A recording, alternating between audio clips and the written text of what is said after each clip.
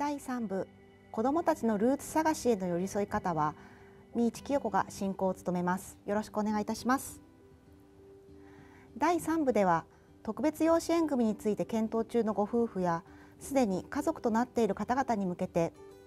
子どものルーツ探しというテーマでディスカッションを進めながら子どもが個性を大切にして自分らしく育つことが子どもはもちろん家族の幸せにもつながるということをお伝えしてまいります。それでは登壇者の皆様をご紹介いたします。養子当事者そして特別養子縁組家庭支援団体オリジン代表みそぎさんです。よろしくお願いします。よろしくお願いいたします。みそぎさんの養子としての発信は、えー、養親さんにとってもセンシティブな内容ということもありお顔を隠しての登壇となります。一言お願いいたします。はい、えー、オリジンの代表をしておりますみそぎと申しますえー、当事者としての活動を、えー、やってきて約3年が経ちましてあのいろんな場所に呼んでいただいて、えー、自分の経験だったり、えー、いろんなお話しさせていただく機会をいただけて、えー、非常に光栄に思っております。えー、いろんな方々これから縁組されていくお子さんだったり今すでにされているお子さんのために少しでもなれるように、えー、今後も活動を含む今回も含めてですねやっていければと思います。本日はよろしくお願いいたします。よろしくお願いいたします。続いてみそぎさんと同じく養子の当事者でいらっしゃいます宮津光一さんです宮津さんはい、えー、宮津光一ですご紹介ありがとうございますあの今回養子当事者として、えー、お話を聞くいただきあお話しさせていただく機会をいただきありがとうございますまあ、今日は実はあの熊本からあのオンラインで参加させていただいております。どうぞよろしくお願いいたします。はい、よろしくお願いいたします。あの簡単に宮津さんのご経歴をご紹介いたします。あの宮津光一さんは2003年生まれで、えー、現在あの熊本県立大学のの学生さんでいらっしゃいます。えー、熊本県警本部長移植少年サポーターとしても活躍をされております。慈恵病院のコウノトリのゆりかごに預けられ里親である宮津家であの育ちました2020年に宮津さんご夫妻と通養子縁組が認められ宮津家の養子となりました。上にお兄さんが5人。高校卒業を機にゆりかごの当事者として実名で自身の生い立ちや思いを発信されています。今日はどうぞよろしくお願いいたします。よろしくお願いいたします。え宮津さんは幼い頃に里親家庭に迎えられ18歳の時に普通養子縁組をされました。本日は養子縁組の子ども側の目線でお話をいただければと思います。よろしくお願いしますはい続いて養子縁組斡旋事業者から社会福祉法人日本国際社会事業団、えー、通称 ISSJ の石川美恵子さんです。はい。皆様こんにちは。本日はよろしくお願いいたします。あのルーツ探しというテーマで宮津さんまたみそぎさんとお話できることを大変嬉しく思っております。よろしくお願いします。はい。えー、石川さんは子育てが一段落された後に民間企業に勤めるか傍らボランティア活動を始められました、その中でソーシャルワークの世界を知ったそうです、日本社会事業大学の養成課程終了後社会福祉士としてご登録になりました。2010年より ISSJ に勤務なさっています。2016年に常務理事に就任され養子縁組のほか無国籍児の支援移民難民支援などの事業を統括されています、えー、どうぞよろしくお願いいたします、はい、よろしくお願いします。改めて第3部では迎えた後にフォーカスをし養子となった子どもたちが自己形成期を自己形成期に抱える自分はどこから来たのか実親はどんな人なのか養子に打ち明けても良いのだろうかといった複雑な感情について考え子どもの幸せな成長のため養子に求められる寄り添い方について議論をしてまいりますそれでは最初のトピックは真実告知の方法についてですえー、初めに今回は子ども側の当事者としてみそぎさん、宮津さんにご登壇いただいております。えー、まずは、えー、みそぎさん、あの生い立ちあのどのようなご家庭で養子として迎えられたんでしょうか？はい、えっと、私は、え、もともと、え、九州の方で、え、っと、えっと、遺棄されていたところを保護されまして、最初乳児院に、入所しております。で2歳半頃まで、えーとまあ、正直2歳から2歳半の間が、えーとまあ、実際に今の養親と一緒に生活してみたりはしていたんですが正式に、え、縁組成立したのが2歳半頃になります。で実際に私がその養子縁組の家庭で育ってるっていう知るのは結構後のことなので幼少期はもう一般家庭と同じというか普通の家の子だとその養子の子供だと思いながら、えー、通常通りというか、はいえー、親子関係で、えー、普通に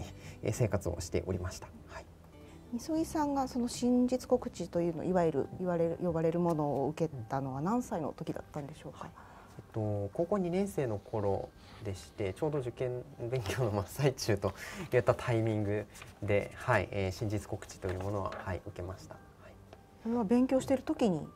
そうですね、えっと、受験勉強をしている際にあの養子の父から、えっと、教わっていた時があったんですがその時にあのちょっとできない問題が、えーと、立て続けに あった際に、えーと、これができないのは俺の子じゃないからだっていうふうに、まあ、ちょっと父もずっとイライラしてたのもあってそのつい口から出てしまったという形で、はいえー、それが最初のというかあの真実告知になってしまった感じでした。はい、そうすると高校生になって突然知ってしまったという状況だったんですね。その時どんなふうに感じられましたか、はい結構あの私の中では意外とストンと当時落ちましてあの腑に落ちたというかあの、まあ、その養親がその時にかかわらず結構あの、まあ、イライラしている部分を感じる機会っていうのは結構あったのであのなんでこんなにいつもちょっと何か抱えてるようなというか何か引っかかるようなあの感じなんだろうと思ってたところがあそれを言われた時にあのあこれをずっとどこか父の中では引っかかってたんだなという意味である意味しっくりきたというのがその言われた直後の感想でしたね。はい、やはり何か日頃から引っかかるところを感じておられてそそれがあそうだったのかというふうに感じられたということですね。はい、あの養親さんがついてしまったという形で、うん、あの知ったと今説明していただきましたけどその後に正式にお知らせというか、この真実告知というのはされたんですか、はいえっと、その日のうちに、えっとまあ、ちょっと時間を置いて改めて、えっとまあ、養親両方両親揃って、えー、私と対面で座って、あの実は特別養子縁組制度っていう制度があってっていうその制度の説明から入って、えー、お前にはあの産んだお母さんが別にいてで自分たちとあの産んだ子ではないんだけれども特別養子縁組っていうのはその生みの親との縁が完全に切れてあの自分たちと本当の親子になるっていうものなんだよというふうな話を、えー、されました。で基本的には養親からされた真実告知はその日のそれで終わりでした。それ以降もなしでしたね。はい。なるほど。そうするとその高校2年生の時が、つい言ってしまった時と、はい、その後にご両親が揃ってご説明されたというのも、そうです最初で最後の最初で最後の、はい、真実告知でした。はい。なるほど。ありがとうございました。えっ、ー、と続いてえっ、ー、と宮津さんのお話をお伺いしたいんですけど、宮津さんあの宮津家に行くまでのことについてあのお話しいただけますでしょうか？はい。えっともう私はあの紹介でもありましたけれども。3歳の時にコウノトリのゆりかご慈恵病院が運営しております。コウノトリのゆりかごに預けられてその後児童相談所で一時保護を受けましてそれからあの里親委託が決まって今の両親とのもとに行きました。で高校2年生の時には今の里親の両親と養子縁組をして今に至るというところです。3歳の時にコウノトリのゆりかごに預けられたということですがその頃のことって記憶にございますか？あのよく聞かれることですけど、まあ、3歳といってもなかなか記憶がなくてあのゆりかごの扉の1枚の絵だけ覚えているというところです。あのその3歳の頃のそのシーンが記憶に残っているということですか？その1枚の絵。そう1枚の絵だけです。はい。あなるほど。あのその後宮津家に迎えられてからはどのように過ごされていたんでしょうか？そうですねやっぱり最初はあのなかなか馴染めなかったというかあの甘えることができなかったと両親から今振り返って、えー、言われてます。まあ、しかしながらあの育ての親と生みの親がいるという事実についてはですねあのしっかりと真実告知をもう前々からされていたのでその中ではそのことについては自分の中でも納得があったんじゃないのかなというふうに思ってます。であの家族になるためにですねあの父が周りの家族のみんなにあの1日3回以上抱っこしようと言ってみんな家族みんなが僕のことを3回ずつ抱っこしていってくれたので、まあ、そういうスキンシップとかを得てあの家族になっていったのかなというふうに思っています。ありがとうございます。1日3回とお兄さん5人いらっしゃるんでしたっけ、はい、結構な回数抱っこしてもらってたってことですね。そうですねはい、うん、ありがとうございましたあのここで石川さんにお伺いしたいんですけれども、はい、あのみそぎさんのこの状況と宮津さんの真実告知の状況ってかなり違うと思うんですが ISSJ では養子になることを希望されている方にこの真実告知についてどのようにお伝えされているんでしょうか？はいそうですねあの養親さんにはオリエンテーションの時から、えー、ルーツ探しの大切さそれから養親さんが協力することの重要性についてお話をさせていただいております。であまりあの難しく考えすぎずに、えー、お子さんの発達とかですね年齢に合わせて少しずつ話していくのがいいですよということをお伝えしています。またあの真実告知というのは何て言うか事実を伝えるということだけではないのでお子さんに会ってどんな気持ちだったかとかどんな情景で迎えられたかとかそういったエピソードも混ぜるのがいいかなと思っています。であのやはり家族の中でこういったことをオープンに話せるそういった雰囲気づくりも重要ではないかと思っています。ありがとうございます。ただただ事実を伝えるのではなくてその時の気持ちであったりとか、はい、その部分も大事にしてくださいね、はい、ということですね、はい、ありがとうございました。あの最近は真実告知は3歳までにしましょうというふうに行政や民間の斡旋団体でも言われています。これに対してみそぎさんどのように思われますか？はい、えっとまあ3歳までにっていうふうに、えーと、ななんて言うんでしょうあの周知されていること自体にはあの僕も小さいうちから、えーと、やっぱり真実告知はしていくのがいいかなというふうに思いますのでそこについてすごく賛成をしているんですが、えーと、じゃあその真実告知の捉え方というかを間違ってただあのうちの養子みたいにあの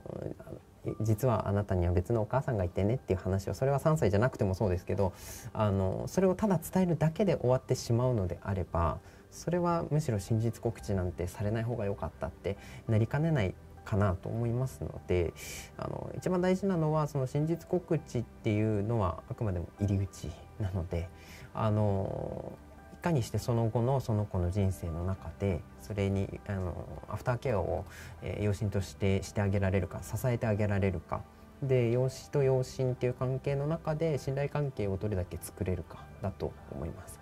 ありがとうございます。信頼関係を築いていく過程に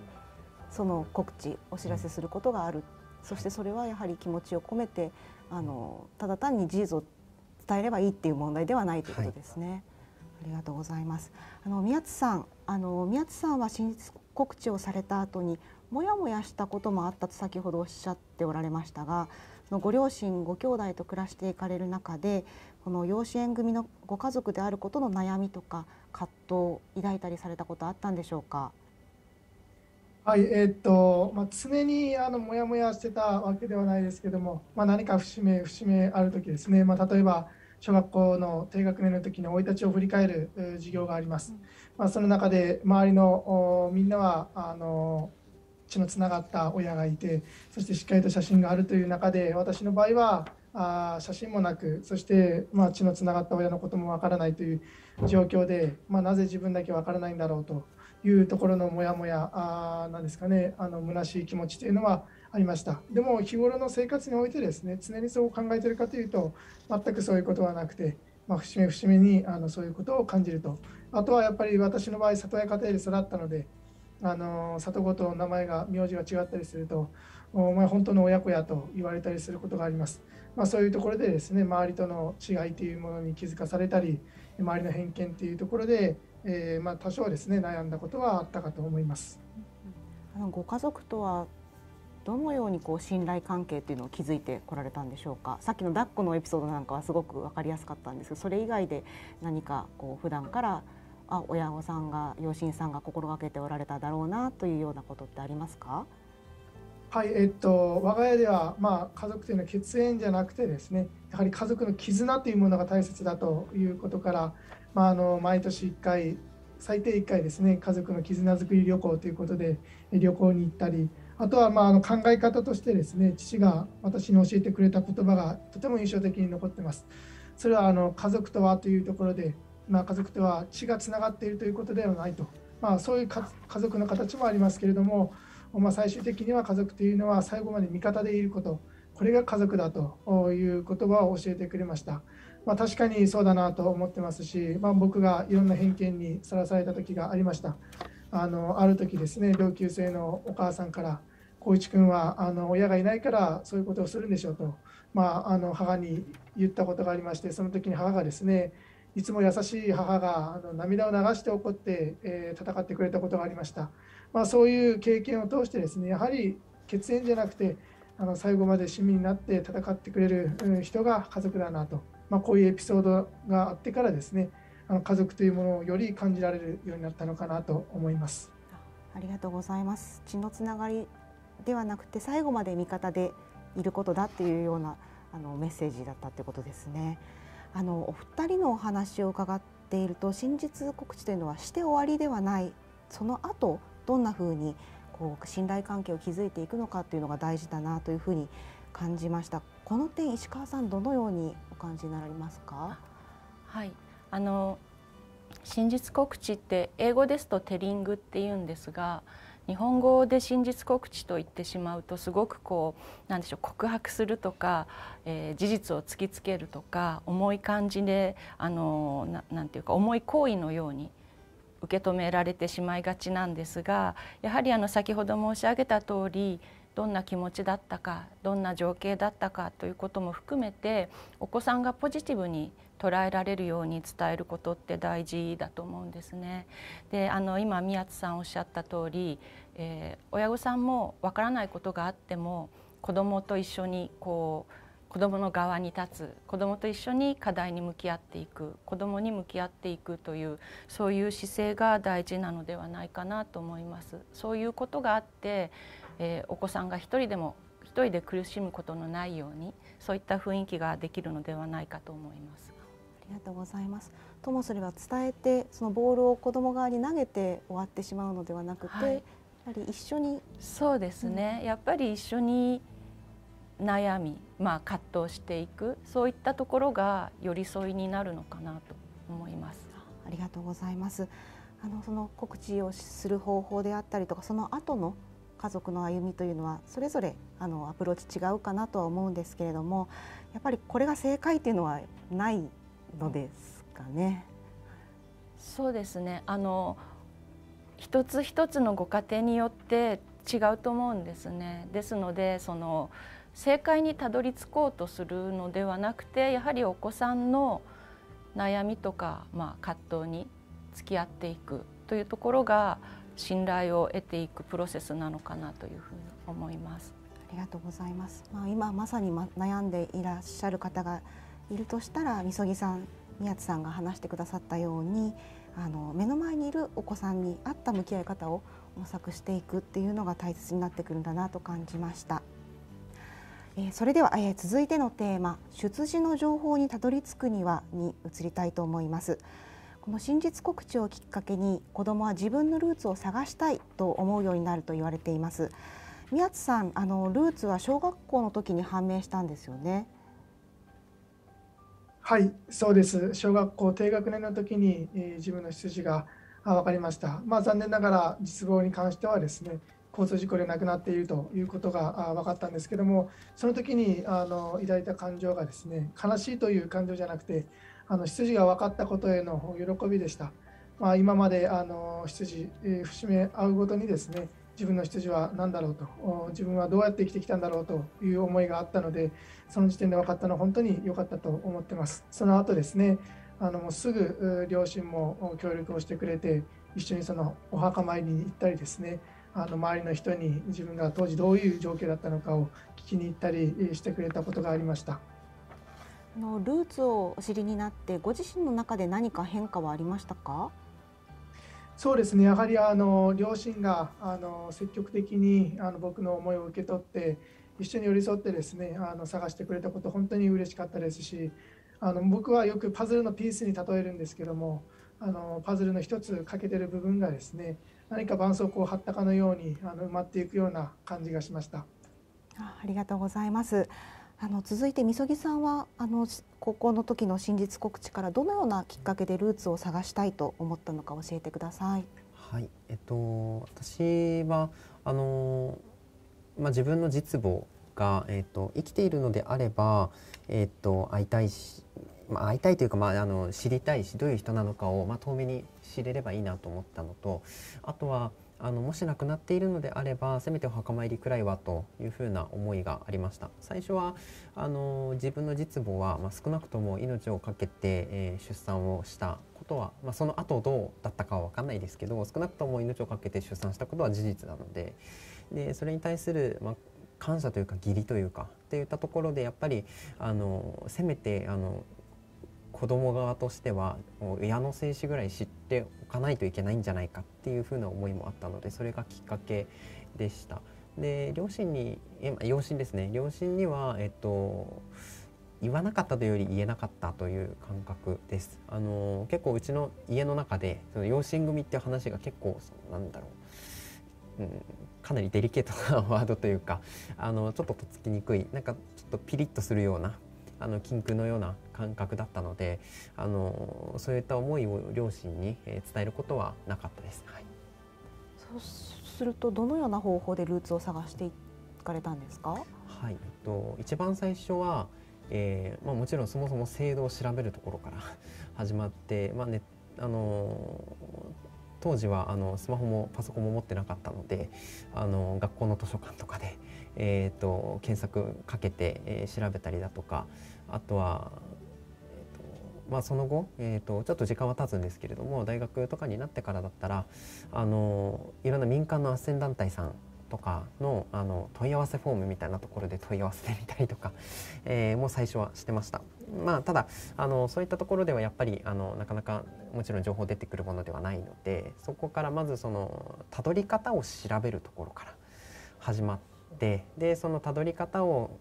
が分かってから、まあ、情報開示請求をあの児相に出したりだとかそしてあの自分のルーツを、えー、少しずつ解明していきましたがそれが分かるまでは結構あの自分自身で、えー自分の従前戸籍をたどって書かれている住所のところに直接行ってみて、えー、ここの近くに昔こういう人がいませんでしたかって、えー、一軒一軒あの回って訪ねてみたりとかを、えー、一人でやってみたり結構迷走してたんですけれども、あの結構そのやり方が明確じゃないそのどういう情報が出てくるのかも明確じゃないし調べ方もあのはっきりとどこかに明記されてるわけじゃないからこそあの自分一人で辿っていくっていうのはかなりあの肉体的にも精神的にもあの大変なものだったかなと思います。あのごご両親養親さんには、その辿っていったことっていうのは伝えていたんですか？えっと辿ってる最中もちろん言ってなくてですね、えっとそれは先ほどと同じ理由だったんですけど、あのまああの社会人になるタイミング、まあ実際働いて実家あのから遠くちょっと離れるタイミングで、あのまあ自分は実はもうここまであの情報を知ってるんだっていう話をあの一応するだけ、まあ、これあくまでもどちらかというと一方的にですけどね。実はもう知ってますっていう話は、はい、最後にしてからあの実家を出てます。はい、あの子供がこう記録をたどりたどりたいと思ってもなかなかたどり着けない、で記録があることすら知らされなかったりとか知らなかったりとか、入手できても知らない情報が書かれあの知りたい情報が書かれていなかったりするっていうこともあると思うんですけど、みそぎさんはその過程でどんな苦労がありましたか？と私自身はあの、まあ、ケースが「息」っていうケースなのでもともと出てくる情報には限りがあるあのので、えっと、もちろん実望とかの情報はもちろん出てこなかったんですけどあのやっぱりあのケースによってはあのいろんなものを伏せられていたり情報開示請求しても黒塗りになっていたりだとかっていう話を聞くとあの誰が何のつもりでそれを何て言うんでしょう本人の情報を知る知らないっていうのを判断してるんだろうっていうのはちょっと思いますしちょっとあの子どもの立場からすると歯がゆかったりあの納得いかないなっていう部分はかなりあるかなというふうには、はい、思いますね。あのみそぎさんが歯がゆいと感じられたそのそう養子側から相談ができる窓口が見つからないで困るという事態についてですけれど2020年に石川さんが所属されている ISSJ に養子縁組後の相談窓口が開設されたと伺っております。この設立のきっかけについて教えていただけますでしょうか？はいありがとうございます。あの私たち古い団体ですのであの過去に斡旋した方々あるいはその親族の方々から自分のルーツについて知りたいとか、えー、実親さんに会いたいという相談がコンスタントにこうあったんですねずっと。でそれについてはあの養子縁組のこう斡旋の一部として対応してきて相談に乗り支援をしてきました。でえー、2020年この設立の前少し前あたりからあの ISSJ で斡旋したのではない方々からだんだん相談が入るようになりましてでその時もこうこれまでやってきたやり方で、えー、情報は記録は私たちのところにはないんですが、えー、っとできる範囲で相談をに乗ってあの支援というものをやっていました。でちょうど2020年頃ですね日本財団さんとお話をした時にやはりこういう窓口が専用の窓口が必要ではないですかというお話をいただきましてであの養子縁組後の相談窓口という形でそれまでやっていたことなんですけれどもこう見える化して、えー、誰でも相談を受けますよという形で解説をいたしました。その見える化したその相談窓口ですが、はい、現在どれぐらい相談が寄せられているものですか？はい、えっ、ー、と最初の年はですね、28件でその後が25件だったんですが、最近あの急に増えてきたということがありまして、えー、今年度は1月末時点で41件の方からご相談を受けています。この相談に来られた方は具体的にはどんなサポートをされてるんでしょうか？はい、えー、っと最初に、えー、フォームまたはお電話でお話をいただきまして個別の面談をします。で個別の面談の中でその方の状況整理をするんですが、やはりあの何が分かっていて何が分からないのか、どのような書類を持っているのかということを整理し、え、またルーツ探しをするにあたってはやはり想定されるリスクというものもあるのでそういうこともお話をします。であのその方が本当に何を求めているかというのは相談の時点ではご本人もまだ見えていないこともあるんですけれどもあの支援をするにあたってこうどういうところをゴールにするかそういうことをあのお話の中で、えーと進めていきます。でそれから実際に情報を取るにあたってはまずはこういうところに行ってみましょうとかこういう聞き方をしてこういう情報が得られるかもしれませんというアドバイスをしつつその方が行かれたらあのどうでしたかというようなフォローをしています。あの石川さんは養子縁組後のサポートの必要性についてどのようにお考えですか、はいあのそうですね養子縁組後も支援が必要ということは今あの社会の中では広く認知されてきていると思うんですが実際具体的にどのような支援が必要かその支援の切り口というんですか視点というのはまだあんまり整理されていない気がします。でその中には記録の取り扱いですとかそれから情報開示の方法ということもあるかと思うんですが、うん、ルーツ探しっていうのは何でしょう自分探しの一つであって人間の成長に欠かせないものですよね。でですから養子の方にとっては本当に切実な問題だと思うんです。それがもしもこう構造的に、えー、たどり着けない何かそういったあの阻害要因があるのであればやはり子どもの福祉の問題としてきちんと議論し、えー、改善できるものは改善していくべきではないかと思います。ありがとうございます。制度面の課題も見えてまいりましたが、あのみそぎさん、あの今石川さんのお話を伺ってこういった活動についてどんなふうに思われますか？はい、えっとやっぱり私がたどった時にはなかなかなかったものですですしで実際私が問い合わせをした民間の斡旋団体さんもやっぱり自分のところで斡旋してるわけじゃないからちょっと相談受けれないのであの受けた児相かあの受けた民間斡旋団体にちょっと相談してみてくださいみたいな返答だったのであのそれがやっぱりそういうかなんなんでしょう区切りがなく相談できる場所ができるっていうのは非常に子ども当事者としてはありがたいことだなと思います。はい、ありがとうございます。ちょっと前ですもんね、みそぎさんがルーツ探しされたのそうですね。2020年よりも前ですもんね。はい、もっと前かもしれない。はい。もし今探そうとしたらそういった相談窓口で利用されたいと思いますか？そうですね。あの入り口として非常にいいかなと思ってて、えっと要は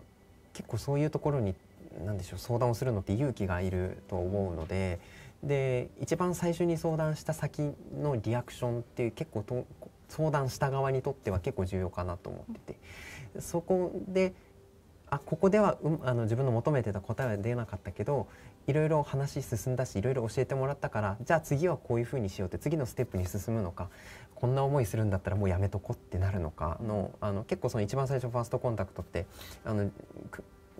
分かれ道だと思うので、そういう意味ではあの当時から、まあ、今後も含めてこういうふうな活動が、えー、どんどんどんどんさらに広がっていってあの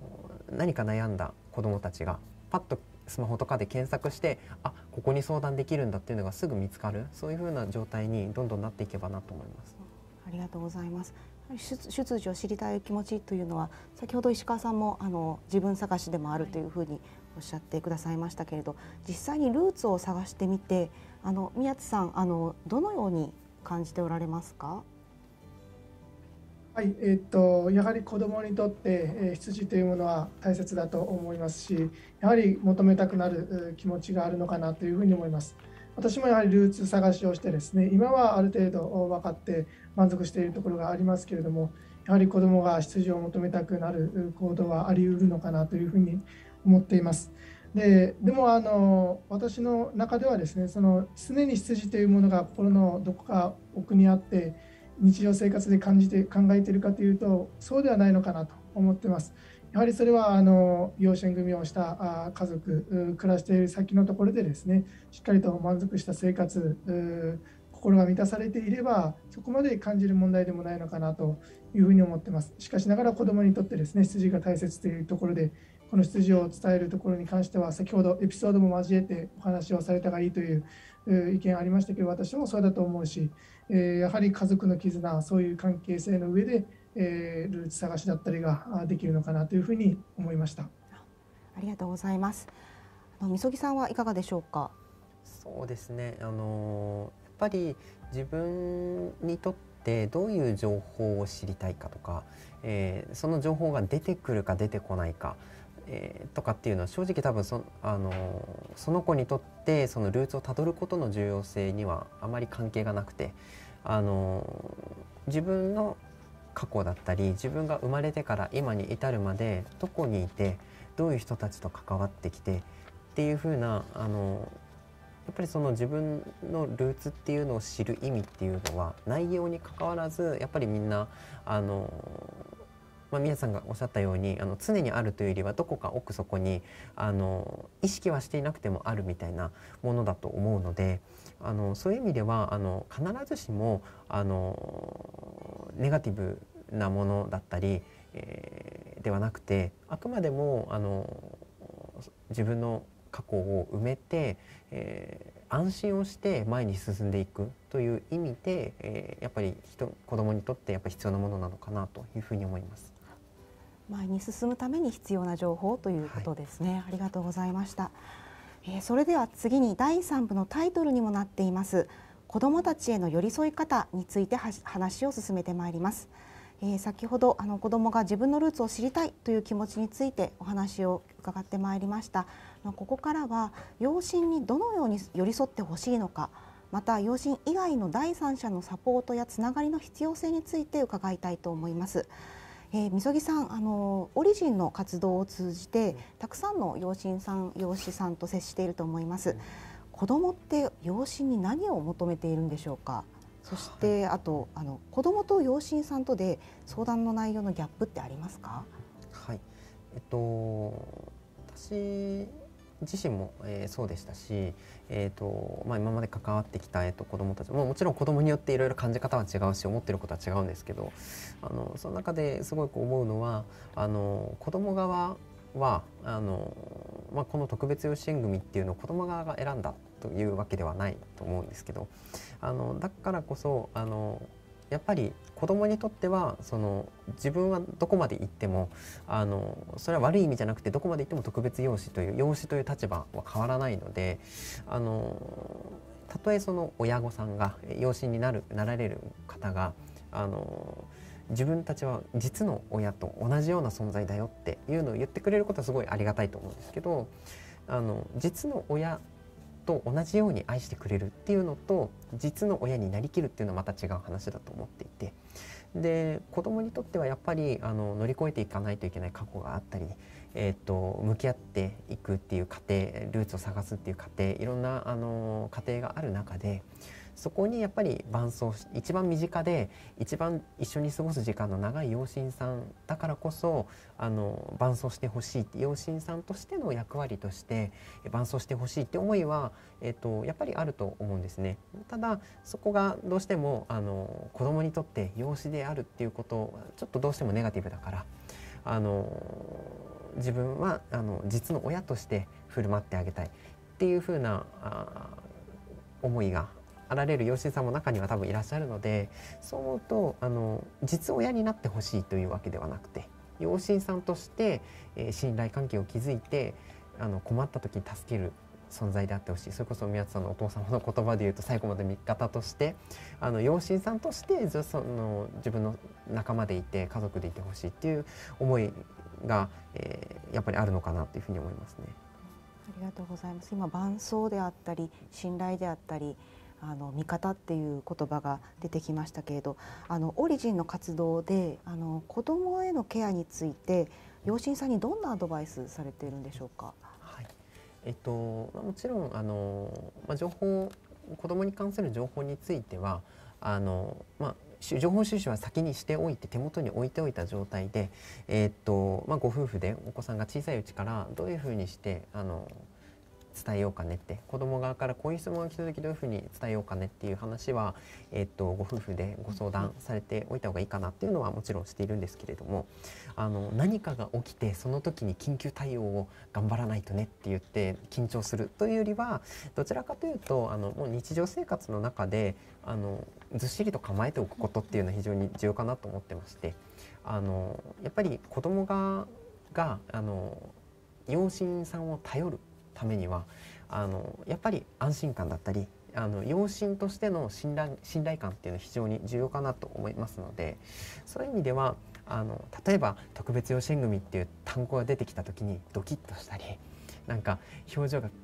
かわなんか緊張してしまったりっていう風になっちゃうくらいだったらあの全然日常会話の中でもさらっと出てきても全然さらっと返せるようなあのそういうなんでしょうあんまりそれこそ重く捉えすぎないっていう風な中で日常の中でそういうあの積み重ね日常の中の積み重ねであの養親さんとしての信頼感っていうのを、えー、積み重ねていくことが重要なんじゃないかなというふうなお話を、はい、しております。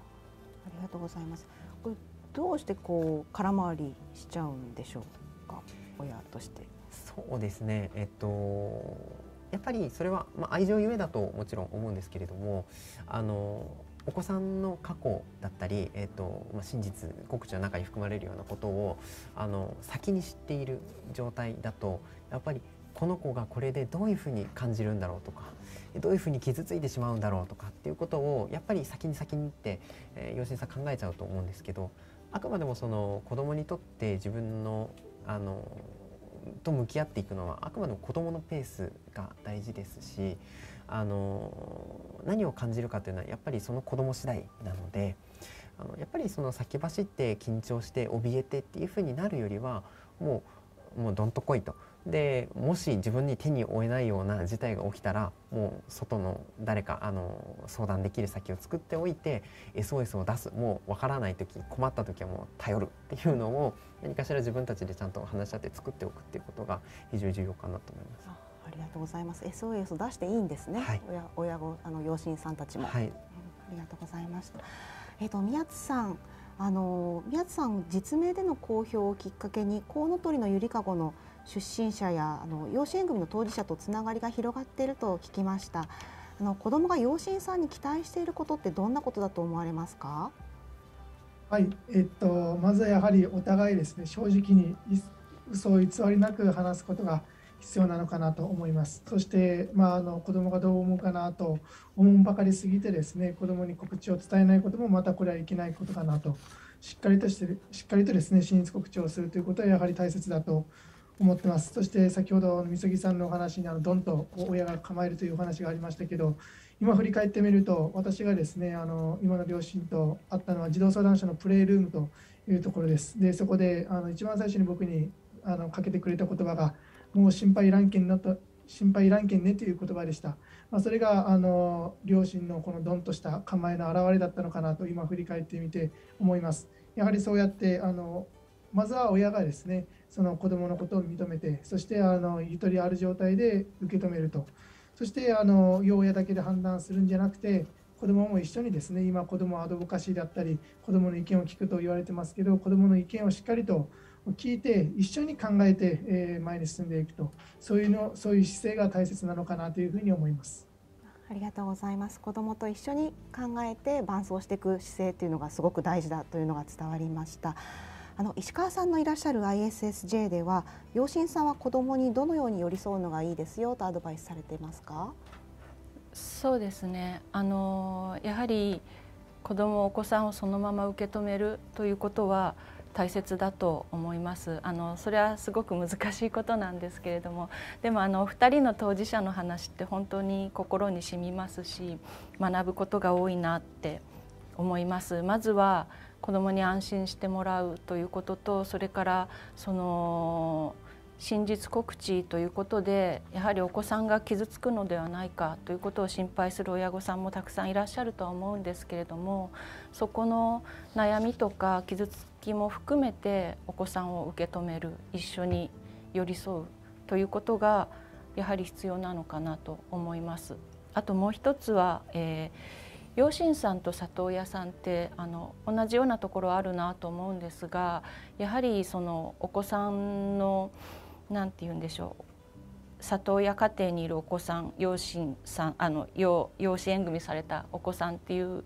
のはあの何でしょうねその傷つきというのもあると思いますしそれを癒していくというのが親御さんの役目だと思うんですね。そこをあのお子さんを癒していくというプロセス、それがあの重要であるというふうに考えています。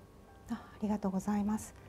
まあ、簡単なことではありませんが信頼関係を築いてそれを土台にしてこう向き合っていく姿勢というのが大事だというのをお三人、あのお三方のお話からあの感じましたあともう一つこうなんか正解を求めちゃうと焦っちゃいそうな気がするのでそれよりもこう意見を聞いたり一緒に考えていくっていう姿勢があの親の側にも大事なんだなというふうに感じました。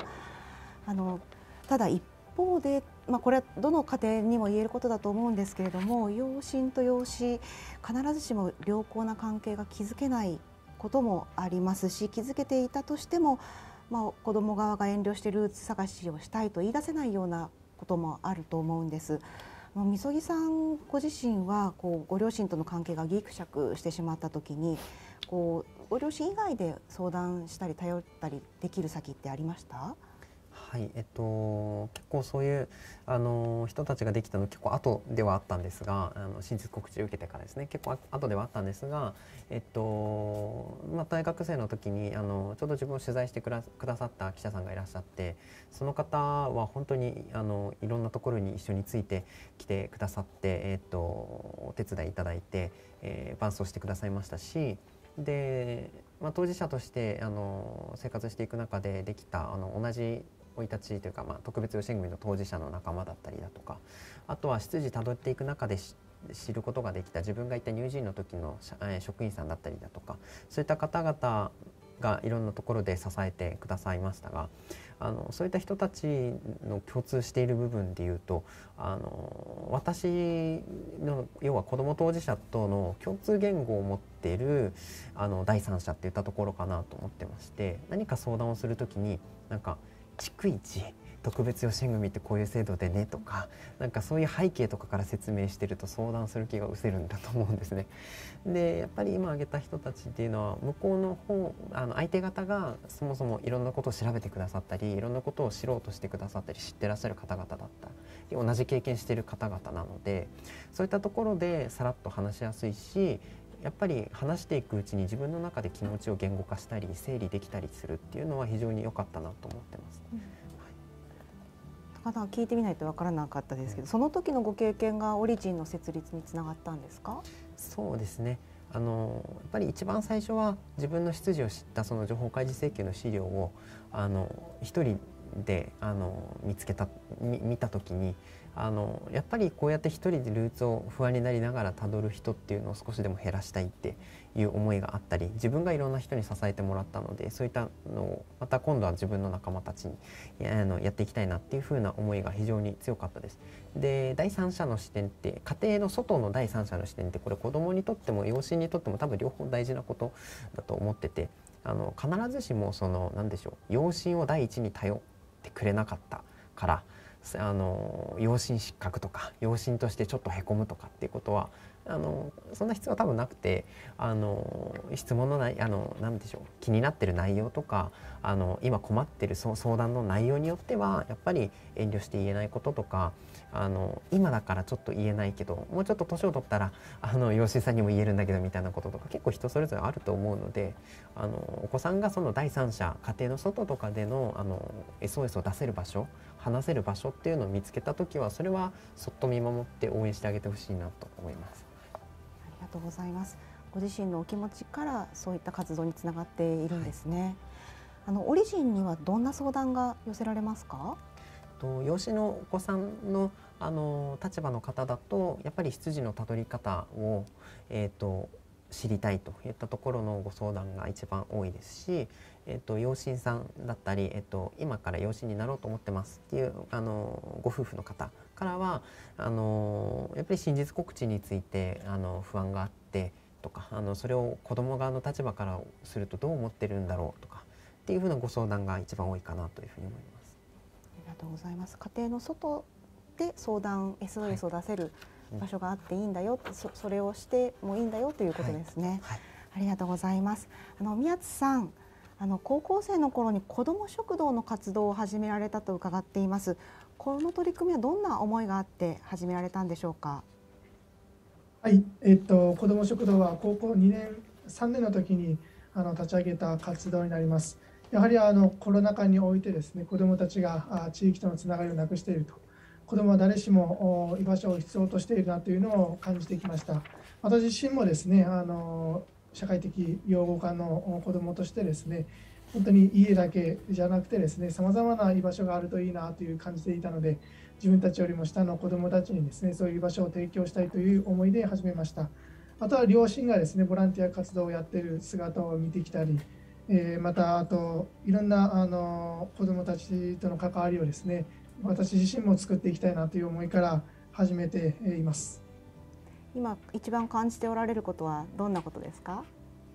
はいえっと子どもに関わる問題、えっと、かかあの来る子どもたちいろんな背景、えー、問題を抱えていますしかしながらこれはあの子どもだけの問題じゃなくて、えー、家庭の問題でありそして最終的には地域社会の問題であるなというのをこの子ども食堂の活動を通しながらあ感じてきています。そして居場所というものがですね本当にこれはあのどの子においてもどの人においても必要だなと地域の中で声かけ合える関係気楽に相談できる関係こういうものが必要だなというのを感じています。ありがとうございます。子どもが相談できる場所であったり SOS を発信できるっていうのが大事だというのをお二人のお話から伺いました。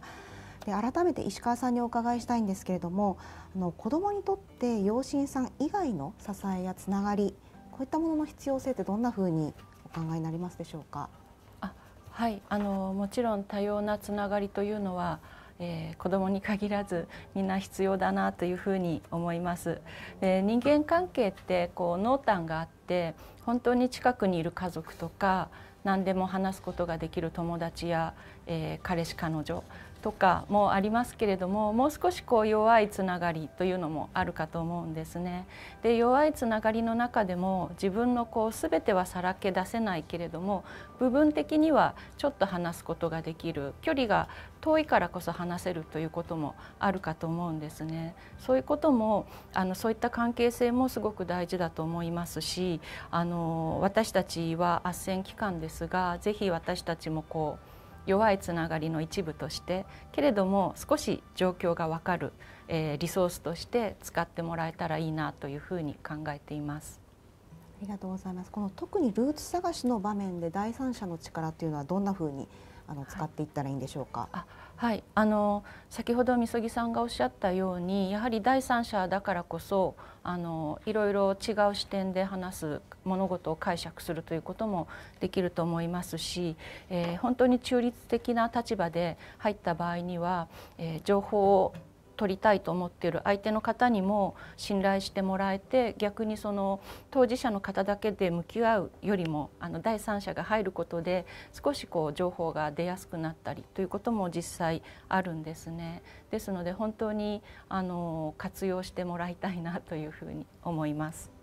ありがとうございました。力強いお言葉ありがとうございます。えーと、それではあの終了のお時間が近づいてまいりました。あの最後にあの視聴されている特別養子縁組に関心を寄せられているご夫婦へ、えー、宮津さん、みそぎさんは子ども側の当事者としてのメッセージを石川さんは養子縁組斡旋事業者としてのメッセージをそれぞれいただきたいと思います、えー、それでは宮津さんお願いできますか？はい、えーと、とまずはあの特別養子縁組養子縁組制度私自身も当事者としてですね本当に必要なものだと思っています。今考えている方はですねぜひあのそういう子どもたちに寄り添ってなっていただきたいなというふうに思ってます。子どもにとってですねあの自分が呼べるお父さんお母さんと呼べる人は大切だと思っています。そういう親の愛情を受けてですね子どもたちが成長して私自身も今そういう愛を受けてここに立っているのかなというふうに思っています。あの私の好きな言葉で置かれた場所で咲きなさいという言葉があります。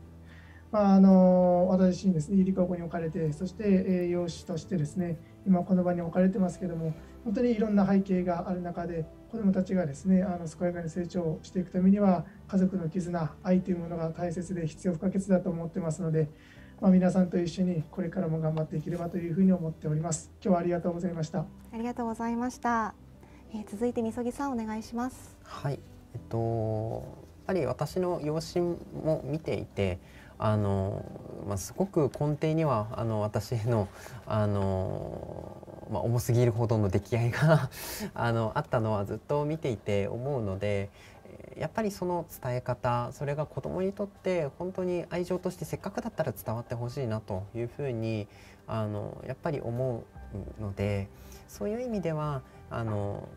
やっぱりそのお子さんを育てていく中であの困ったこととかあの、まあ、何かなんだろう養親として本当はこんなの思っちゃいけないんだろうけどっていうようなことがついつい浮かんできた時とかなんかそういうふうな時はあの、まあ、ぜひあの、まあ、オリジンでもいいですしあの他のいろんな第三のあのサポート機関とかをぜひあの頼ってみてほしいなというふうに思います。でそれが結果的にはあの何で言うんでしょう養親さんとして完璧かどうかじゃなくてあのやっぱり子供にどれだけその何でしょうせっかく長く待ち望んできた可愛い可愛い子供のに向けた愛情がどれだけあの子供にちゃんと愛情として伝わるかにつながってくると思うのであのぜひいろんなところを頼りながらあの完璧であろうとせずにですね、はい、養親さんとしてあの子供にぜひ寄り添ってあげてほしいなと思います。はい、本日ありがとうございました。ありがとうございます。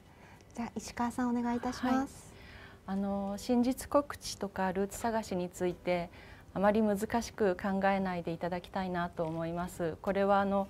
うん義務とかテストではないですし正しい答えがあるというものでもありません。えご家庭でそれぞれの家庭であのなんていうかな一つ一つ違うやり方があると思うんですね。で失敗したから取り返しがつかないというものでもないですし、えー、お子さんに寄り添ってなんていうか日々の生活を豊かにすることの一つとして考えていただけたらいいのかなと思います。えー、もちろんいろいろ想像を想定していないところにも直面すると思いますし悩みや葛藤というのは親御さんにもお子さんの側にもあると思うんですけれどもでもあの今日このセッションで皆さん言っているように SOS を出していいんですね。ですので一人で抱えないでまずは誰かに話してみる。そういう中であのもし、えー、他に誰か相談する人が難しいということであれば私たちのような斡旋団体にもぜひお気軽に声をかけてください。本日はありがとうございました。皆さんメッセージをありがとうございました。お三方のお話を伺ってルーツ探しというのは自分の尊厳アイデンティティにも関わるすごく大事な問題課題であると感じましたもちろんあの制度面の整備も大事ではありますが親が目の前の子どもと向き合いながら、まあ、場合によっては一緒にルーツを探すお手伝い伴走をしたり、まあ、時には第三者の支援を受けたりすることも念頭に置いておくといいのかもしれません。あの今日のシンポジウムを通じていろんな家族の形がある中でどんな形どの段階であっても子どもの幸せを大切にしながら子どもを育てたいと願う人たちも一緒に幸せになって幸せな家族を築いていけたらというふうにあの感じました、えー、それではお時間となりましたので家族を育む子どもを育てたいと願う人へ特別養子縁組制度オンラインシンポジウムを閉幕いたします。最後までご視聴いただき誠にありがとうございました。